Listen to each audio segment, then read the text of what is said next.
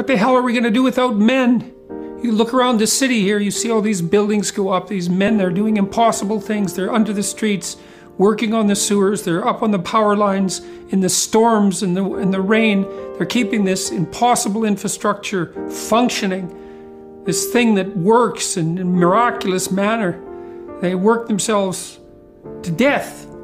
And often, literally, it's very useful to tell everyone, not just men, that they have an important role to play, a necessary role, and that if they act properly and honestly and forthrightly, that they can put their lives together and they can help their families and they can make their communities better, and that that's not toxic masculinity, that appalling phrase.